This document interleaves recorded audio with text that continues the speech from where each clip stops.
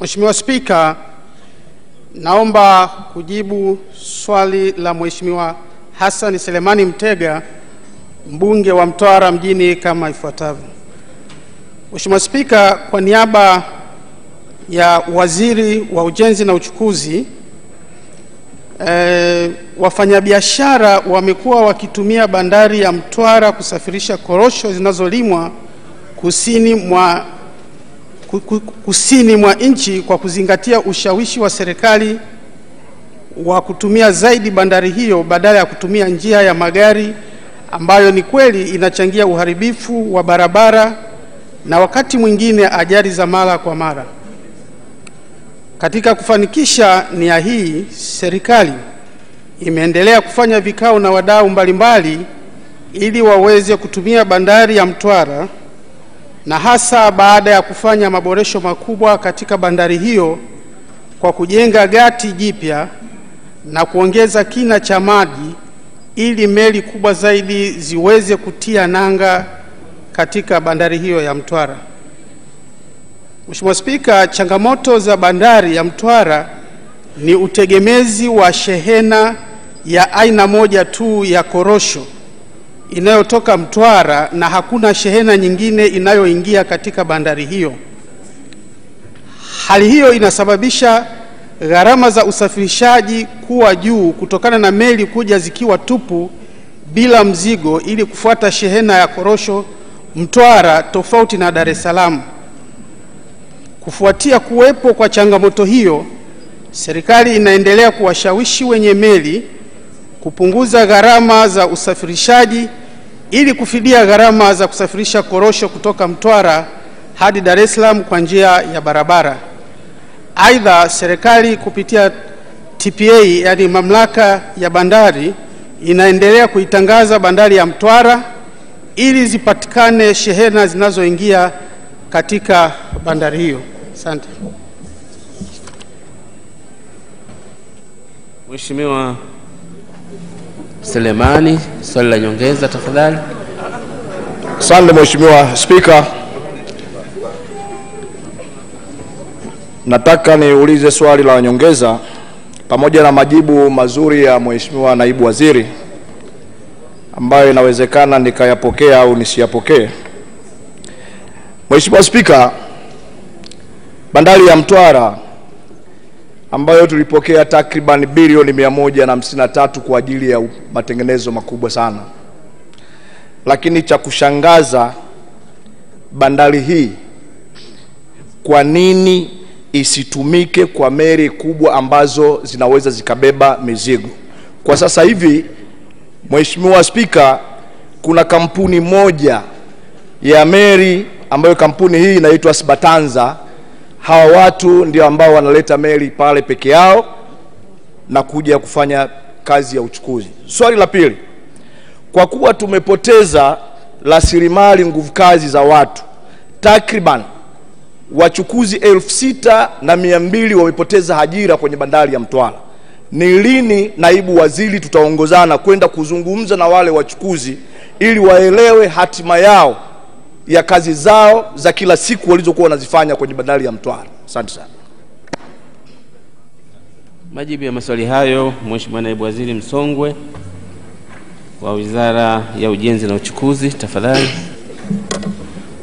Mheshimiwa Spika, naomba kujibu maswali mawili ya nyongeza ya Mheshimiwa Hassan Selemani Mtega, mbunge wa Mtwara mjini kama ifuatavyo.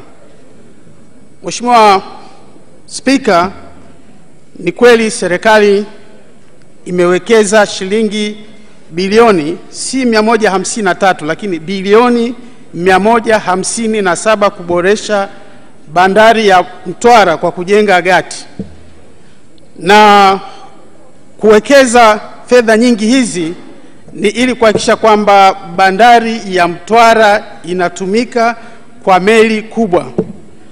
Sasa juhudi zinazofanyika mpaka sasa hivi kama nilivyosema kwenye jibu langu la msingi, moja ni kwamba serikali tayari imeshafanya usanifu kujenga chelezo kwa ajili ya kujenga meli yetu chini ya MSCL ambayo itakuwa na uwezo wa kufanya biashara kati ya bandari ya Mtwara na bandari zingine.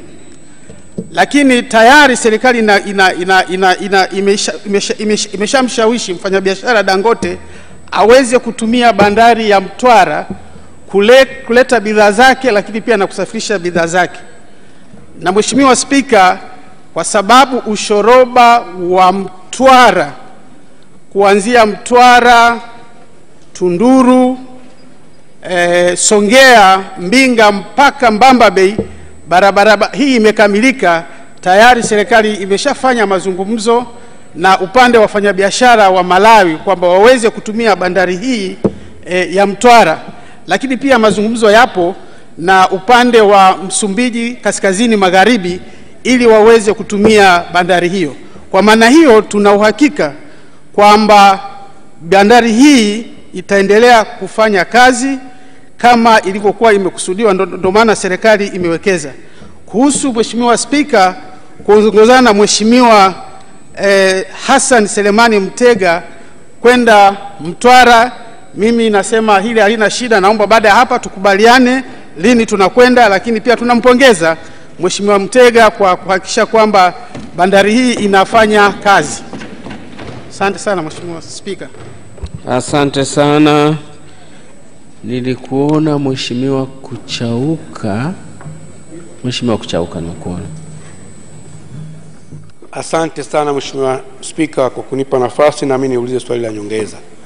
Pamoja na kwamba serikali imewekeza fedha nyingi kwenye bandari ya Mtwara, lakini commitment ya serikali katika matumizi ya bandari ile bado haijaonekana. Mfano, leo hii kule kuna kitengo cha mafuta, yaani kuna pampu ya mafuta ambayo inatakiwa wananchi wa kanda ya kusini wote wachukuliwe mafuta kwenye bandari ya Mtwara, lakini ukienda kwa wafanya biashara bado wanalalamika kwamba mafuta ya Mtwara yako bei juu kuliko Dar es Salaam.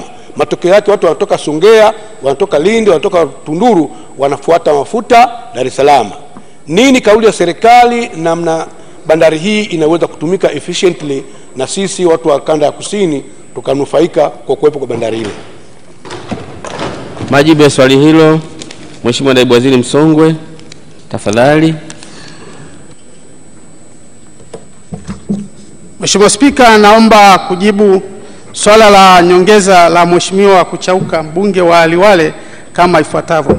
Nini commitment ya serikali? Mheshimiwa Spika, kazi kubwa ya, ya serikali ni kutengeneza miundombinu na tayari commitment ya serikali imeonekana kuiboresha bandari ya Mtwara ili iweze kufanya kazi kama ilivyopangwa, na ndio maana katika jibu langu la msingi sasa tunatangaza na kuitangaza bandari ya Mtwara ili iweze kutumika, kwa sababu sasa ina uwezo wa kupokea meli zote kubwa, na tungeshauri wafanyabiashara wote waweze kutumia bandari ya Mtwara na hasa wale wa ukanda wa kusini.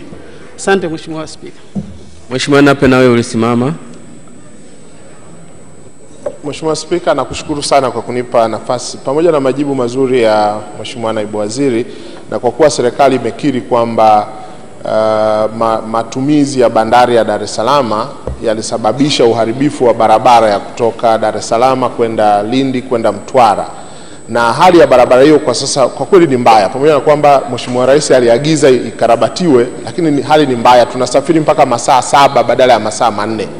Je, serikali iko tayari sasa kutenga fedha ya kutosha kuikarabati barabara hii kwa kiwango kinachotakiwa ili turudie hali yetu ya zamani? Majibu kwa kifupi ya swali hilo, Mheshimiwa Naibu Waziri Msongwe, Ujenzi na Uchukuzi, tafadhali. Mheshimiwa Spika, naomba kujibu swali la nyongeza la Mheshimiwa Nape eh, kama ifuatavyo. Mheshimiwa Spika, swala la msingi lilikuwa ni bandari, lakini lilikuwa inahusianisha na uharibifu wa barabara kwa sababu magari mengi yanaendelea kutumika. Mheshimiwa Spika, naomba tu niseme baada ya hapa, kwa sababu halikuwa swali la msingi, nitaomba nionane na Mheshimiwa Nape ili niweze kuona namna ambavyo serikali imetenga fedha, kwa sababu ni utaratibu wa serikali kutenga fedha kufanya matengenezo kwenye barabara zote na hasa barabara muhimu kama hizi, lakini figa kamili sina, ila fedha inatengwa kwa kila barabara kuhakikisha kwamba hiyo barabara inatumika.